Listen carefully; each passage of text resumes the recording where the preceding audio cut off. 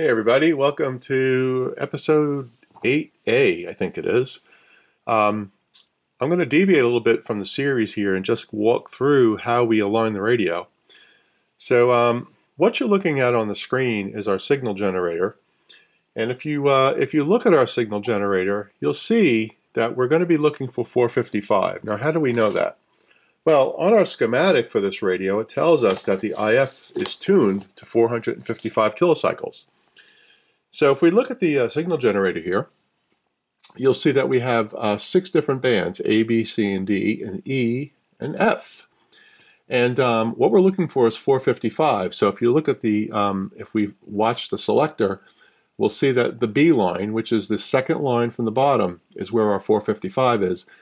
And these signal generators generally give you a marking, which this one does is a little triangle right there, which tells you where 455 is. So we're going to put the needle right on 455. Now what we're going to do is we're going to switch over to our oscilloscope and what I want to do before I do an alignment is make sure that the signal generator is accurate. You know these things are, are generally needing to be calibrated occasionally and they're not always accurate. So, um, so we're going to switch over to the oscilloscope. I have it connected directly to the leads of the signal generator and you're going to see uh, what the frequency really is. So let's, let's switch over right now. Okay, so what you could see there on the bottom where it says frequency, it says 462, 459. So it's, it's jumping around a little bit. So it's definitely off. So we're going to turn this down until we get to 455.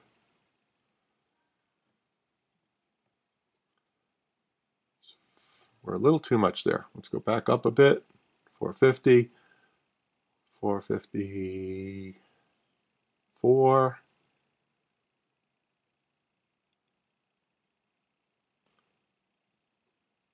Right about there. So we're jumping between 456.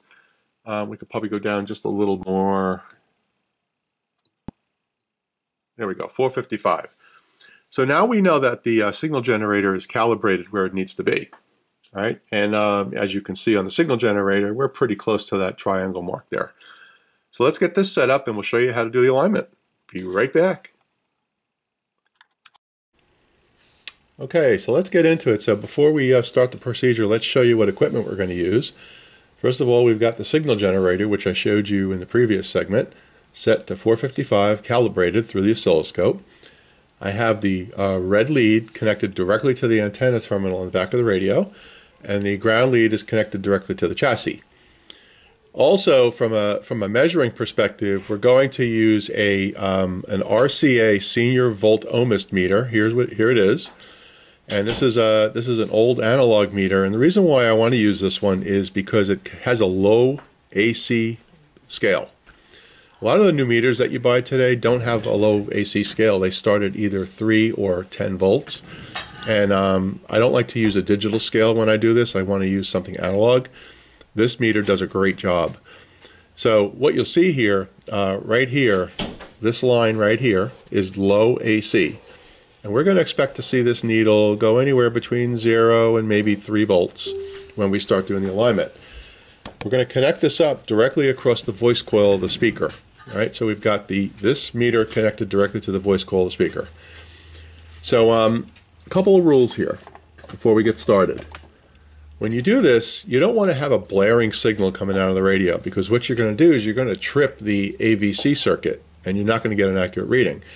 So you want to have just enough sound so you can hear the, the, the signal or the tone coming out of the signal generator. Let's power this up. So the radio's powered up and you can see uh, the tubes start to glow. And according to the alignment procedure, it says uh, step one and two. Put the high side of the signal generator to the antenna terminal. We've done that. Tune the signal generator to 455. We've done that turn the radio dial to the A band, which is broadcast, to a quiet point between 550 and 750. Let's do that.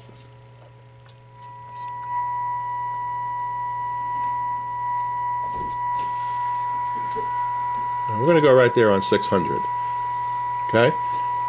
And I have the volume down pretty low on this thing. You'll see it's loud. Now we're going to turn this the um, the fine adjustment on the signal generator down because we don't want it loud. Let's turn that down. I'm going to bring the volume up on the radio.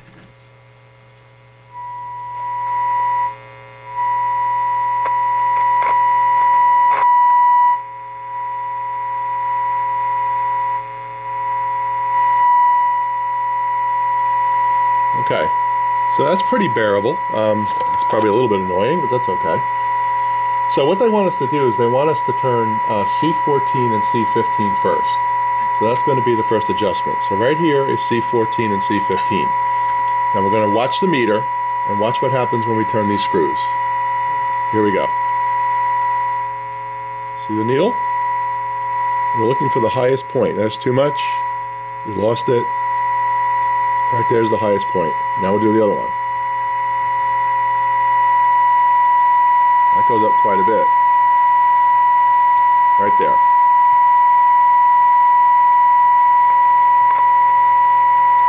Now at this point we can turn the fine adjustment down even further on the signal generator. Just enough to hear it. Okay.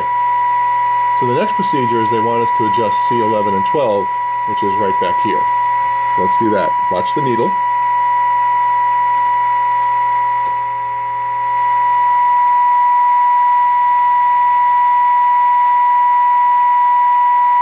And again, we're going to lower the signal generator. Turn the second screw.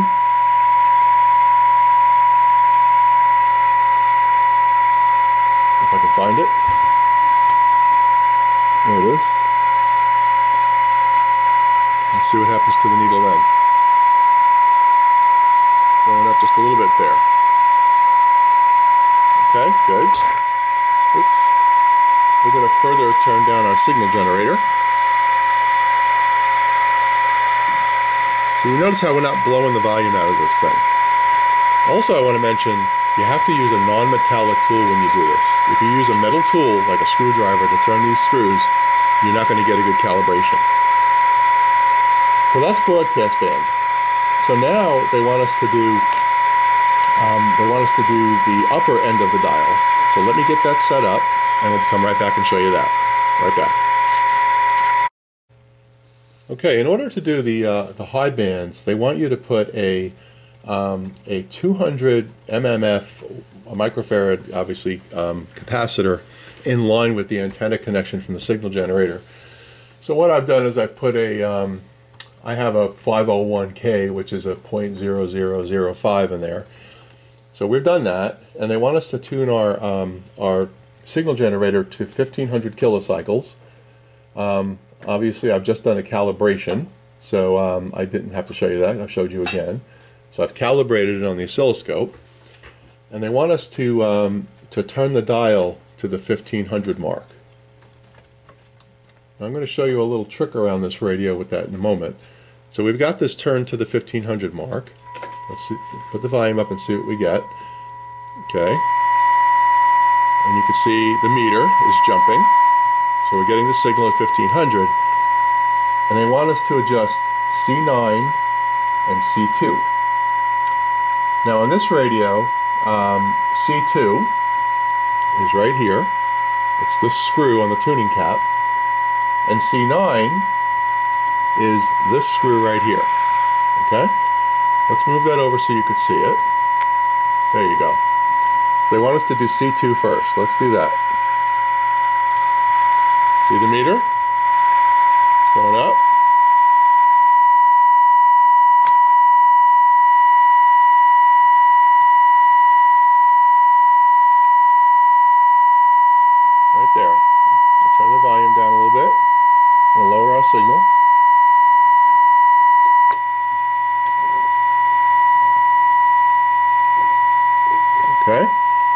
And C9 right here.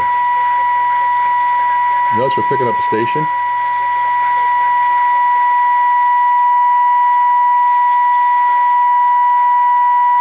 Okay.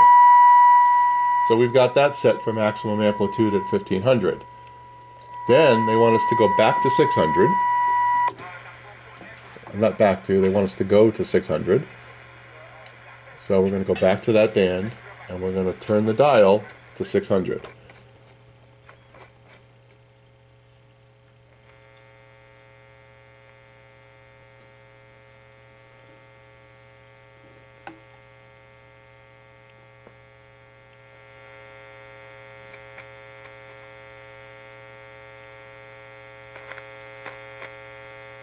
Okay, we're not picking up anything on 600. Interesting.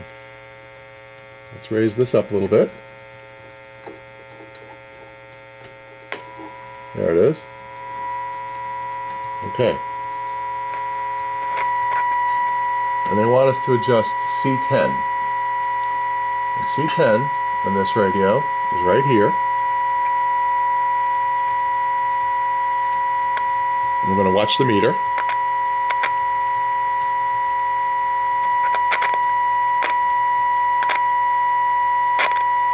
Looks like that that pot's a little dirty.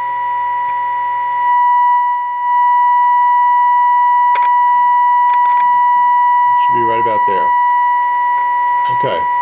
So our broadcast band is now complete. I'm going to turn off the signal generator. And we're going to connect an antenna and see what it looks like. Okay? Now the point here is, although this is the factory um, setting that they tell you to do, sometimes it's not good enough. You know, the conditions in which the factory calibrated these things don't exactly match what I'm doing here, right? Um, there could be a bunch of things that are different, different voltages, all kinds of different things. So let's take a look at this here. Here's the station I have in the house. That's 800.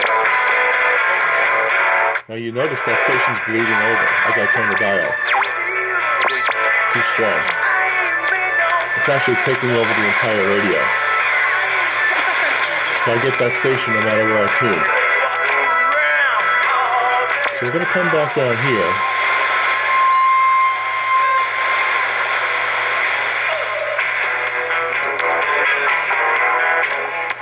Shouldn't be here. And we're going to adjust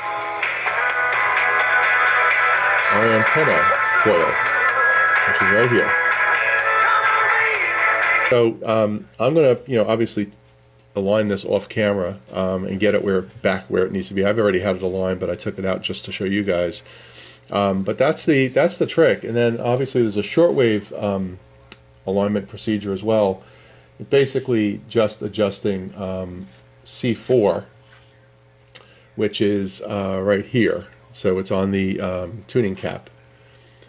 And they want you to set it to 20 millicycles and uh, and obviously adjust that oscillator. And they want you to do that in series with a 300 ohm resistor for this radio. So um, that's the alignment procedure. It's really simple. And um, you just have to pay, have a little patience and make sure you have a good meter. Again, I'm going to show you this um, RCA Senior VoltOhmyst meter really does a great job, especially with that low voltage. You know, so far this season is six for eight. You could also use an oscilloscope. It's a little less scientific. I'd rather use the meter. But uh, I hope this is helpful. And remember, don't use a metal tool. Use a plastic tool. And make sure that you check your work afterwards. Just because it says it on the paper doesn't mean that it's absolutely correct. You may have to uh, tune around a little bit. One last thing I want to show you before we wrap the video up, and then uh, we'll take it from there. So let me get that done. Be right back. Okay, now this radio is, is different than some radios. Some radios have the dial glass mounted on the radio, and um, that makes it really easy to figure out if you're aligned correctly. But on this radio, it's not. It's just a metal plate here. So how do you know if you've got the uh, dial pointer aligned correctly?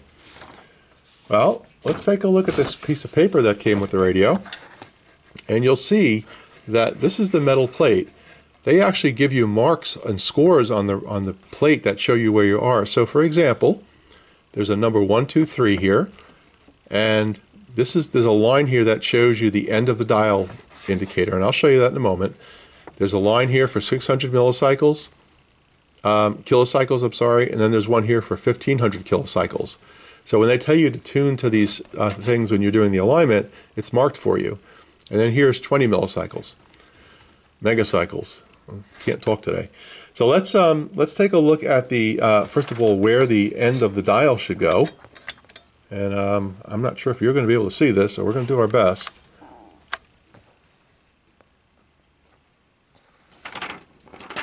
Let's get some light here.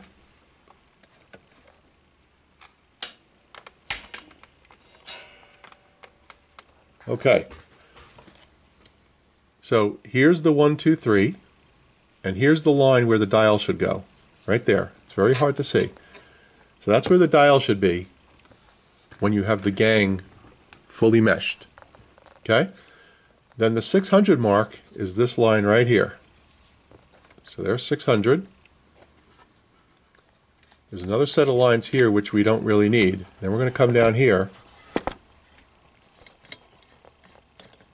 And that line right there is 1500 kilocycles. So that's how you know. Really, really cool. So uh, if you have a radio that doesn't have a dial glass on it, you'll know that you need to look at that. All right? Hope this is helpful. Um, like I said, in the next episode, we'll have the radio fully aligned and ready to go, and then we're going to look at some ways that we can improve it and make it better. So that'll be coming up in the next episode. Everybody have a great day. We'll see you.